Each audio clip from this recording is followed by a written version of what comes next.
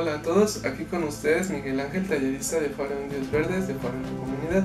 Ahora presentamos en el taller de Pintando con Flores Sobres, como siempre a favor del medio ambiente, formas de expresar nuestra creatividad.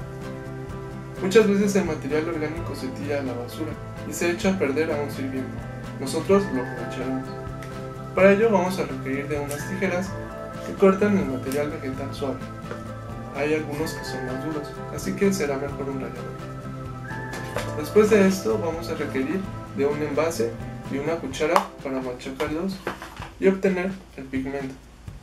El pigmento va a estar en diferentes envases. Y eso dependerá del agua que ustedes le pongan y el color que ustedes quieran. Si es más oscuro es menos agua, si es más claro es más agua. Bueno, por lo mismo vamos a requerir de un soporte y una hoja. También de un colador en el que vamos a vertir nuestro colorante y vamos a quitar también un poco del material vegetal para que no queden trocitos.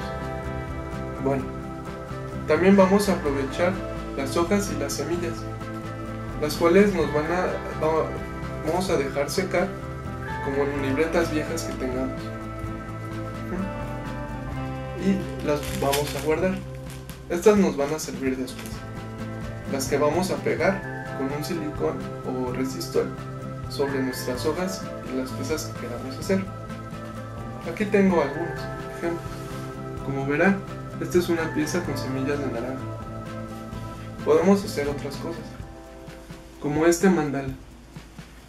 Quedó muy bien. También pueden utilizar el material vegetal y hacer bellos paisajes. De esta manera.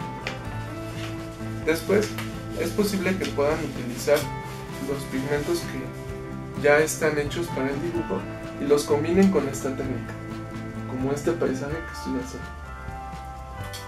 Bueno, yo los invito a este taller porque nos ayuda a sensibilizar de las formas y los colores que obtenemos de la naturaleza.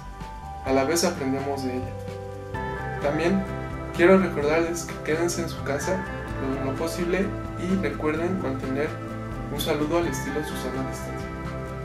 Nos estaremos viendo a la siguiente. Les mando un gran saludo.